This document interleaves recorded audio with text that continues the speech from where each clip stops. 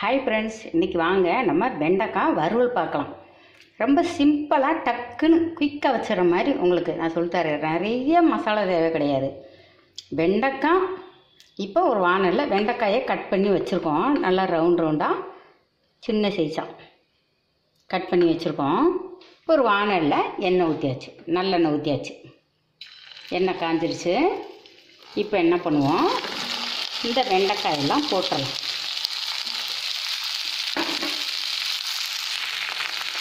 இப்போ வெண்டைக்காய் போட்டாச்சு. இது ஒரு கால் கிலோ வெண்டைக்காய் இருக்கும்.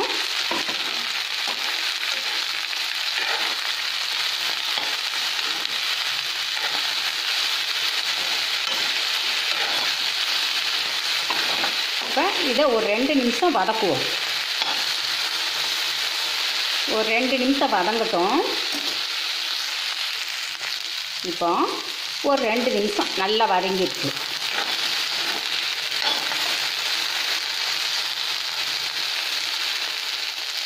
இப்போ என்ன பண்ணுவோம்?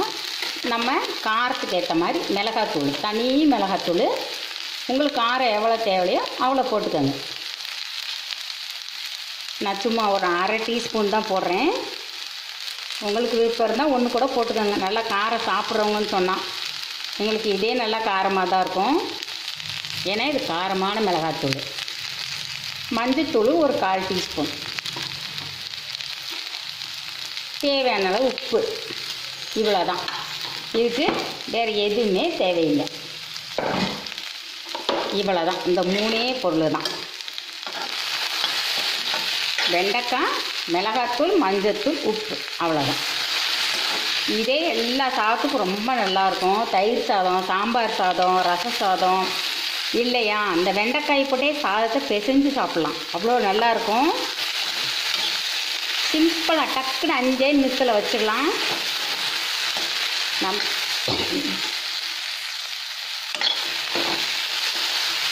இந்த வெண்டங்காய் நமக்கு வதக்கிற நேரம் தான் நமக்கு.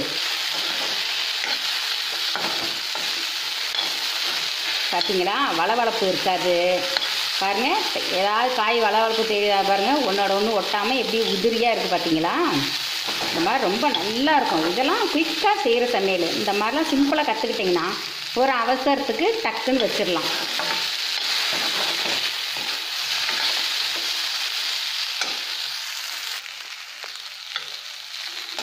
இப்போ வெண்டைக்காய் ரெடி ஆயிடுச்சு. அவ்வளோதான் உங்களுக்கு விருப்பப்பட்டால் இப்படியே சாப்பிட்டா ரொம்ப டேஸ்ட்டாக இருக்கும்.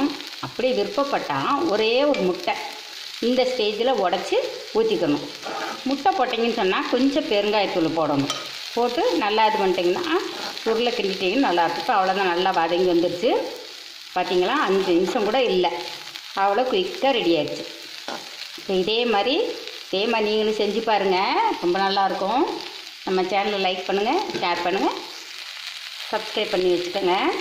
தேங்க்யூ